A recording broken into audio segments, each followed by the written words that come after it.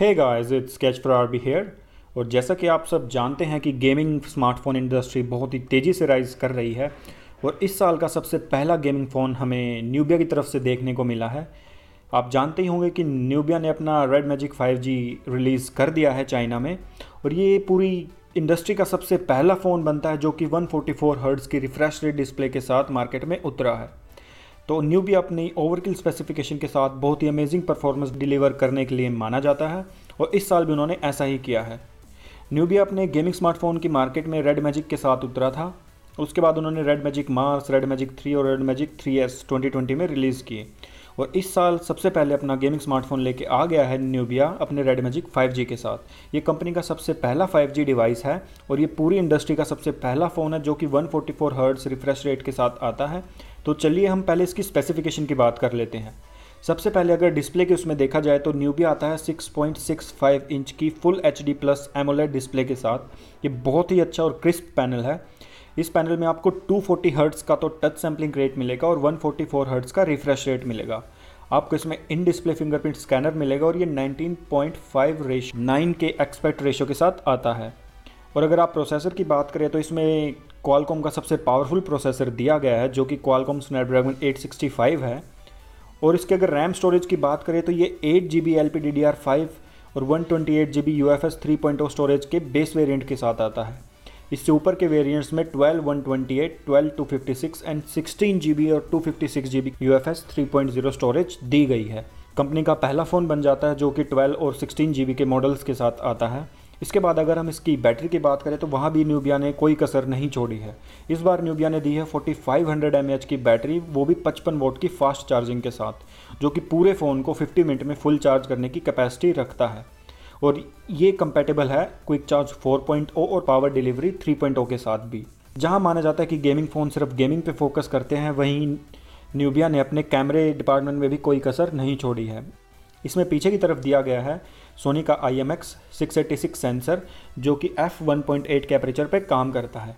ये एक 64 मेगापिक्सल का सेंसर है और यहाँ पे जो दूसरे कैमरे हैं, वो दिया गया है एक 8 मेगापिक्सल का वाइड एंगल कैमरा 2 मेगापिक्सल का माइक्रो कैमरा तो ऐसे ही न्यूबिया रेड मैजिक 5G पीछे ट्रिपल कैमरे के साथ आता है और फ्रंट में इसके 8 मेगापिक्सल का एफ़ टू का कैमरा दिया गया है। और अगर हम इसके कुछ अमेजिंग फीचर्स की बात करें जो सिर्फ़ इसी गेम में मिलेंगे आपको तो इसमें आपको मिलेगी active cooling through rotating fan with in the phone इसमें एक एक्टिव कूलिंग टेक्नोलॉजी दी गई है, जिसमें आपको एक फ़िज़िकल फ़ैन फ़ोन के अंदर फिट किया गया है, जिससे कि आपका फ़ोन कभी भी ओवरहीट नहीं होगा। इसमें आपको एक 3.5 पॉइंट mm जैक भी दिया गया है और इसमें low latency game screen casting का ऑप्शन भी दिया गया है।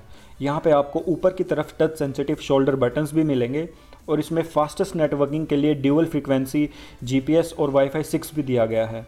और इसमें साइड पिंस भी हैं। अगर आप इसे डॉक करके अपने टीवी या फिर किसी भी अदर डिवाइस में गेम खेलना चाहते हैं तो इसी के साथ न्यूबिया ने अपने इस फ़ोन के साथ एक बहुत ही औसम और नया डिज़ाइन लॉन्च करा है।